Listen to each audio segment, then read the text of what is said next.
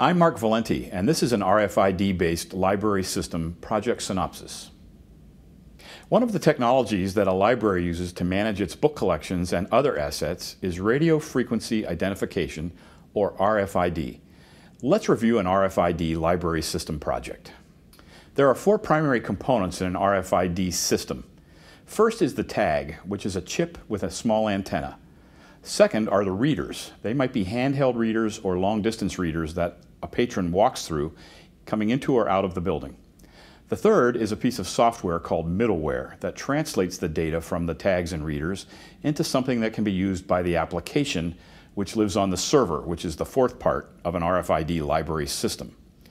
Why is a system like this important to the library? Well, it improves efficiency of circulation.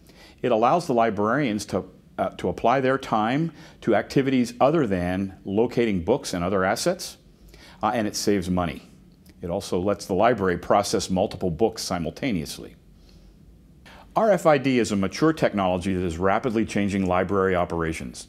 In the future, we can expect tags to become more powerful, readers to become more efficient, and prices to continue to fall, so installation of such systems will become more cost effective.